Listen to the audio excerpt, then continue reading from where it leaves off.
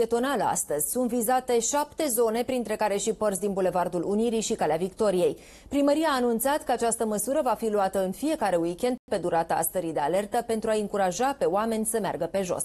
Bianca Ogarcă ne spune mai multe. Bună ziua, Bianca!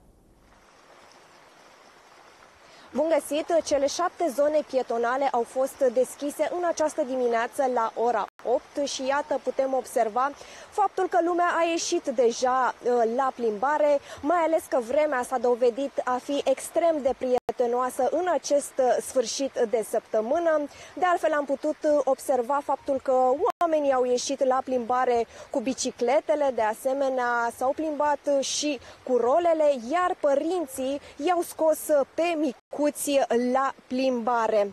De altfel, cele șapte zone de promenadă au fost fost deschise pentru a încuraja așadar mișcarea în aer liber pe timpul stării de alertă. Zonele vor fi deschise doar pietonilor în zilele de sâmbătă și duminică între orele 8 și 22.